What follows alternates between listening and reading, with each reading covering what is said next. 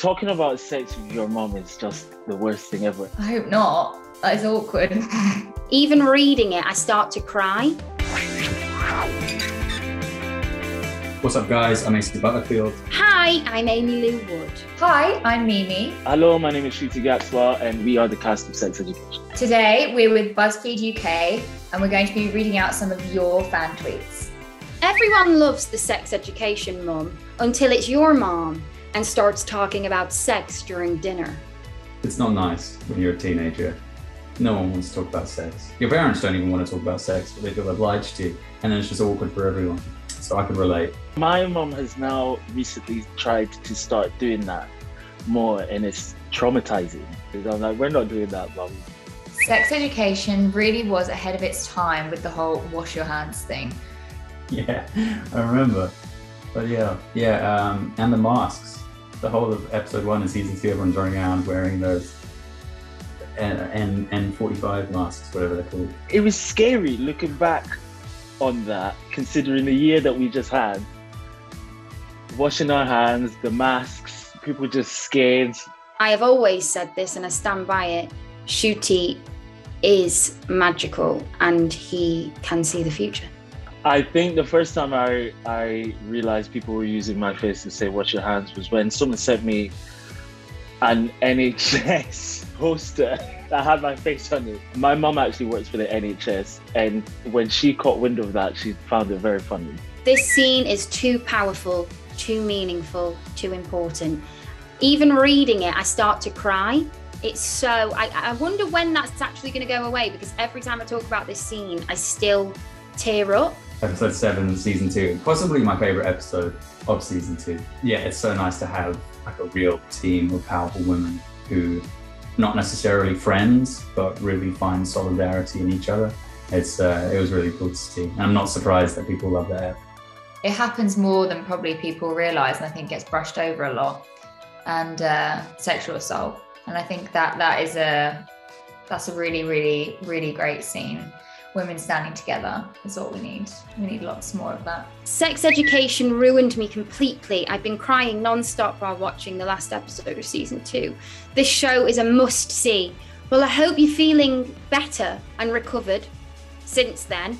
You know, I'm glad we need a cry sometimes. We need that catharsis. We need that release. So I'm glad that that, that you had it. You will most definitely see some uh, tear jerking scenes. There's going to be some emotional moments I won't ruin it and tell you too much, but I hope that you'll be crying. That's what we are going for. Uh, the fact that I practically forced my mom to watch Sex Education with me and now she's obsessed. Good, because it's for everyone. So you should force as many people to watch it because then they'll get hooked. Start those conversations with your parents, friends. Let's get talking about sex, baby. I want to be best friends with the Sex Education cast. How do I do this? Probably very easily. We're all quite friendly people you know what? Come to Wales, come and hang out. We're all friendly people. Come and be part of the gang. Yeah, come round to the chalet. Come round to Otis's house for a cup of tea. Burb. Be right back. Crying about the beautiful ways girls support girls. Hashtag sex education. I'm also crying still every time I talk about the bus scene and the smashing scene and all of that. And I'm so honoured and grateful that I got to be a part of it. And it is beautiful. Girls supporting girls is beautiful. I think the more of it that we see, the better. And I think the more of it that is seen and shown, hopefully, will encourage more of it taking place in real life because that's what we need. Well, do you know what? I'm gonna join you in the back there crying because that yeah, all those scenes like Maeve and Amy's scenes and all the female solidarity solidarity in sex education is is very beautiful to watch. I think all the friendships in sex education are very beautiful to watch. I love a cast that is so close and almost like they have been best friends forever. It really makes the show better on screen as well. Sex education. The chemistry I think that people relate to on the show is real and I guess the writers now kind of like write for us a little bit and write for our relationships a little bit, and so that's cool that we've gotten to that point. We're so lucky that I mean that we all just get on so well and that we are so close. And I think especially for a show like Sex Ed, where you're potentially doing these embarrassing things or talking about these topics, it's nice to know you can. Tr- we all have such trust between us to kind of do our bit and um, really bring our best to the show because we love it and we love what it represents. Um, this show is so good and actually respects inclusive, queer affirming sex education. Not to mention it's diverse on so many levels, including race, gender, and ability. Thank you at Netflix. That's nice. I mean, that's what we're trying to do.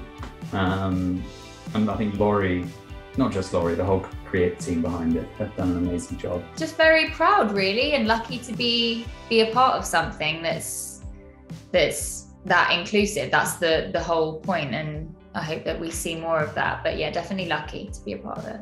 Hopefully, we continue to expand on that and and tell lots more people's stories. But it does feel really cool to be a part of something that's doing that. I'm watching hashtag sex education on hashtag Netflix, and one of the characters came out as pansexual. I've never seen someone like me on TV. It's so nice to be able to see someone just like me. Yes, I'm glad that you feel seen. Yeah, I mean, the sexuality spectrum is so wide and beautiful, and hopefully we can try and incorporate everyone, all all those beautiful colors of the rainbow. I think it's really important that everyone gets represented because I can't imagine what it's like if you never see someone who's like you on TV. But that's one of the best things about the show, and it's probably one of the things that I hear the most is like people saying that watching the show has been the first time well they felt like they were represented you know on screen in a character in a show which is um, very special Thank you so much for all your amazing tweets about the show. And thank you so much for your support. And we hope that you love season three as much as we loved making it. Enjoy season three, and I'll see you on Netflix.